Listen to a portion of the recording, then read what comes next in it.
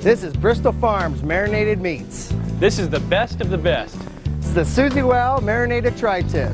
My favorite is the marinated lamb kebabs. The best meats, the best marinades. At Bristol Farms, we love our sausages. We have a sweet Italian seasoning with fresh garlic, pepper, fennel seed, aniseed. My favorite is the chicken shrimp creole, very spicy, tastes great in jambalaya. We use only the best beef, pork, veal, and lamb. Taste fresh, is fresh.